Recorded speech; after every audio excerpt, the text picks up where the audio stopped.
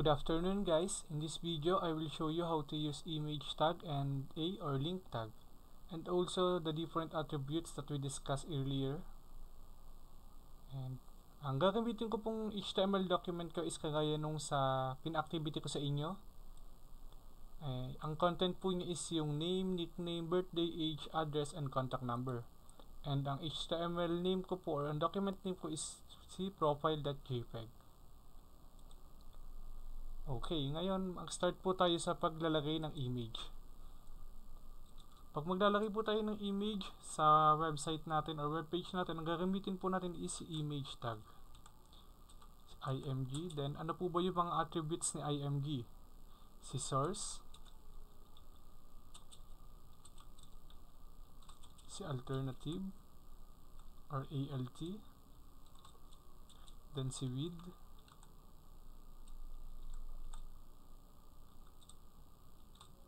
and height. These are just the common attributes pero marami pa po talagang attributes sa HTML sa bawat tags. Then close. Ayan. Ngayon po ay kukunin natin yung source or yung location ng image na gagamitin natin. Ang image po na gagamitin ko is nasa may documents ko and nasa HTML folder ko where I compile all my HTML files. Then nagawa po ako ng another folder sa, sa loob nun. Ang pinangalan ko po is image. Ito po yung magiging directory ng mga gagamitin kong image sa different HTML document ko. And ang gagamitin ko pong image is si profile. As you can see, kapag tinapat nyo po yung mouse nyo is makikita nyo po kung ano pong uh, extension niya or anong file type niya. So, nakalagay po dito is siya po ay JPEG file. So, ang file name niya po is si profile.jpg. So, tandaan niyo po yung file name ng image nyo. Then, copy niyo po to. Which is yung URL or yung location nung, ima nung image na gagamitin nyo. Then, balik kayo sa notepad. Then, paste it. After that is burahin niyo po siya. Uh, applicable lang po to kapag yung folder ng image nyo is nasa loob ng HTML document nyo or kasama ng HTML document nyo yung folder ng uh, image directory nyo. Then click that and backslash. Then ano ba yung pangalan ng image ko? Si profile.jpg. Then control save. Then ang alternative ko is i-describe ko dito kung ano yung uh, image na gamit ko. So kapag hindi ma-view ng tao or ng user yung uh, image na yun is um, alam niya kung anong laman nun. So ang ilalagay ko po is si diploma picture ko. Then, about naman po sa width and height. Uh, kagaya po nung nagtanong kanina or sa mga nagtatanong is paano nga po ba magiging hindi stretched yung image na yon. Ang isa pong sa ginagamit kong technique is pupuntahan ko po si image. Then kung gusto ko po siyang i-resize is kiklik ko po siya then edit. Then mapupunta po ako sa faint. After po nan is pupuntahan ko po si resize Then, pipili po ako kung anong size yung uh, gagamitin ko or yung magiging applicable sa website ko. Anong size ba yung magiging bagay. So, ang lalagay ko po is, for example, 200. Then, as you can see, nag-auto-compute na si height niya para hindi siya mag-stretch. Uh, uh, para po mangyari yun is, uh, dapat po naka-maintain aspect ratio kayo or naka-check tong checkbox na to. Then, click OK. And yan, nag-authorize na po siya ng hindi siya stretch. Then minimize. Balik po tayo sa notepad natin. Then ang tanda nyo po, ang ginamit ko pong width is 200 pixel. Then ang naging height niya po is 256. After that, control save and try to view it. Kung tama po ba yung nangyari. Hindi po ba, kung hindi po ba naging stretch yung image. Ayan, hindi naman po siya stretch hindi naman po siya mukhang pixelated. So, balik po tayo sa notepad. After naman po nan is ilalagay ko po yung mga social media accounts ko sa pamamagitan ng paggamit ng A tag or yung link. So, A. Then, ano po ba yung mga attributes na A? Si href, which is uh, yung magiging URL or paglalagyan natin ng URL. Then, si title.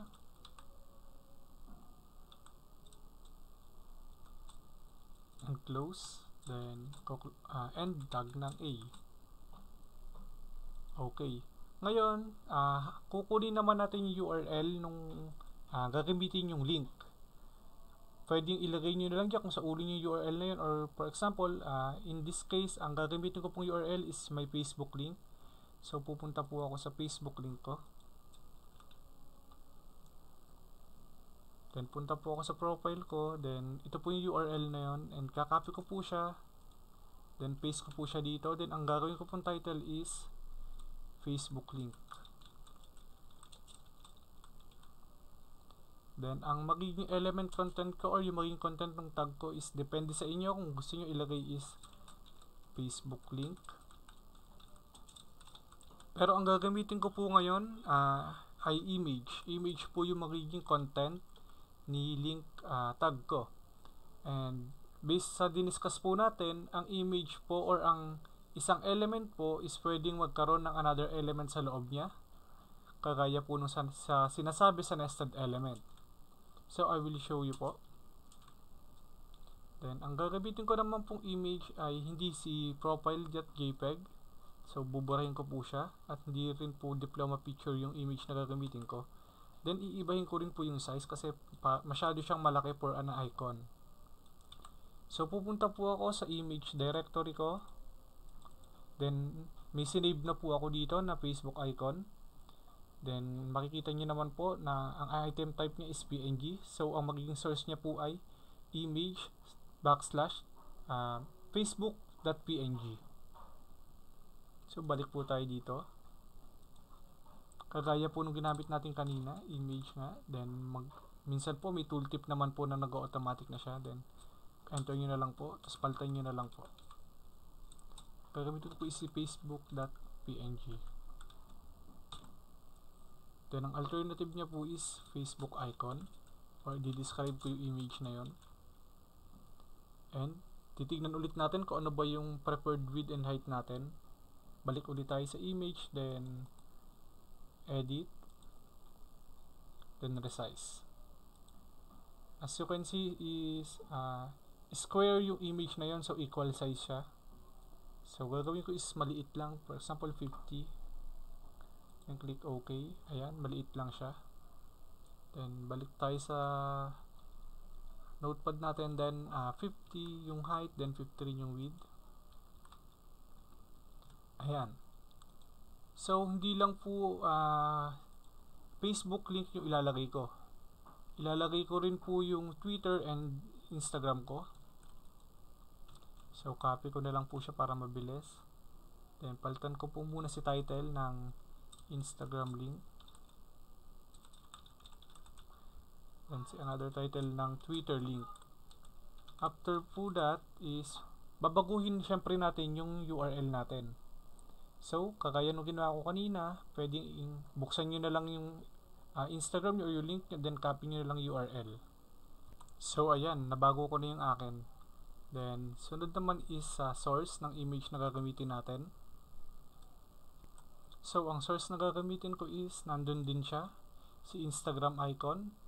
Then, tignan natin kung anong file niya, PNG din siya. Then, si Twitter is naka PNG din. Then, minimize. Then, palitan lang natin siya ng Instagram. Then, si Facebook dito ay palitan natin ng Twitter.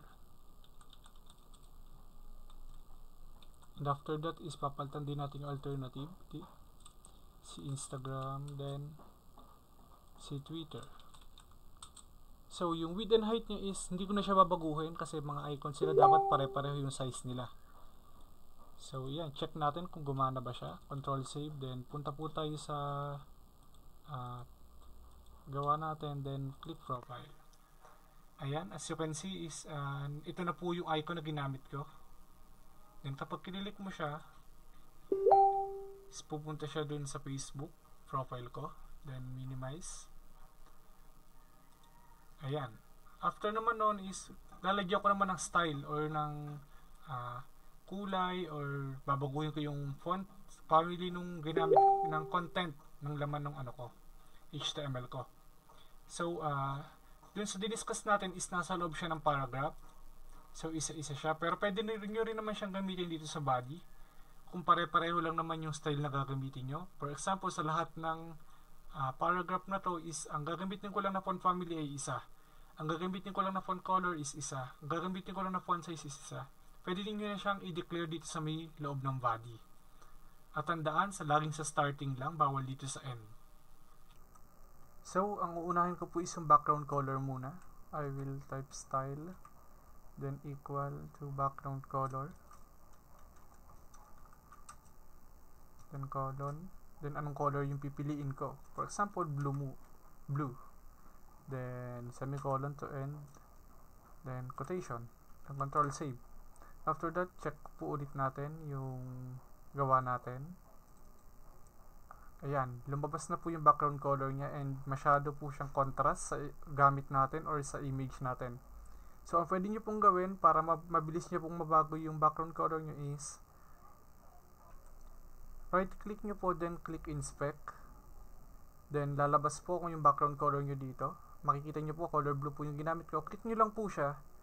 Then kita nyo po itong uh, toggle color picker. Uh, you can choose uh, for example dito po kukuha ng background color sa image na gamit ko para pasok po sa theme example pipiliin ko po itong si color violet then medyo bababaan ko lang po yung contrast or brightness niya hahanapin ko po yung tamang timpla ng color for my HTML document or for my web page.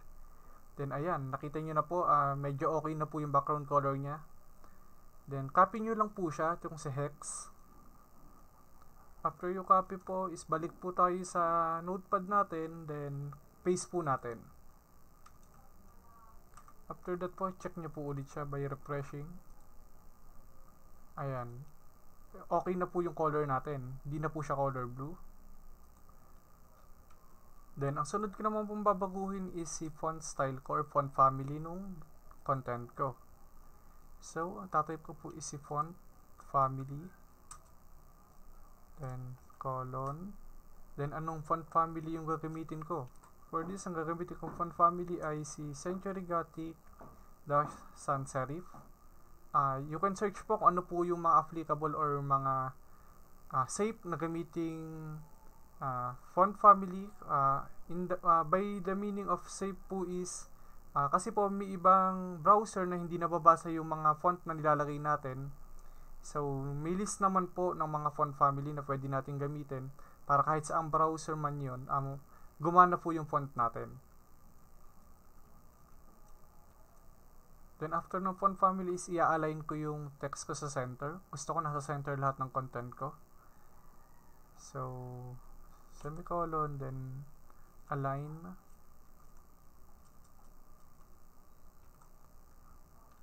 Text align.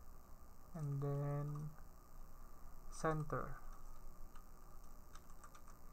Then semicolon. Okay, let's check. So, you can see guys, ito, pa, ito yung font, ano ko, font nga, ko ngayon. So, kapag nirefresh ko siya or pinuyo ko yung updated, nagbago na yung font, then, naging center na siya. Then, balik po tayo. Babaguhin ko naman po is yung color niya and yung font size niya.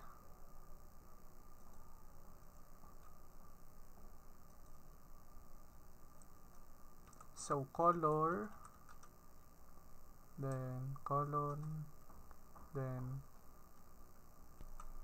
Ito yung napili kong color. Kagaya lang nung ginawa ko kanina sa pagpili ng background color. Chinek ko lang din siya. Ganun na lang din yung gawin nyo if gusto niyo na makita kung ano ba yung vary na font color sa HTML document nyo